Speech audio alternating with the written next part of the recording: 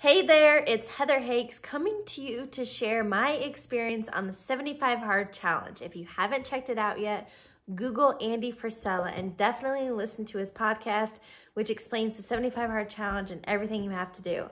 I'm excited to check in with you. Today is day seven. I've made it through the first week. There were definitely some highs, there were some easy moments and days, there were some lows. I was being tested asking, why am I doing this? What am I doing? Wanting to cave, wanting to throw in the towel, give into temptation. And I want to let you know I've made it to day seven.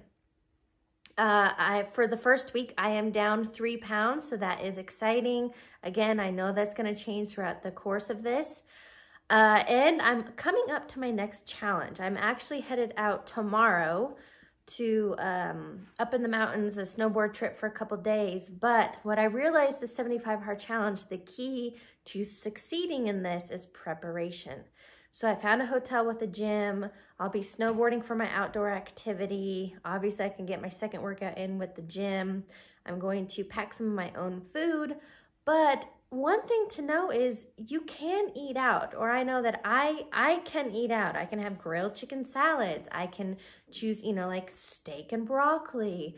There are definitely feasible options when eating out and on the road and traveling because i have definitely some more trips coming up throughout the 75 days. So i want to let you know if you're you're in this uh, I believe it does get better, but I think I'm going to come across some of those highs and lows again throughout the course of this.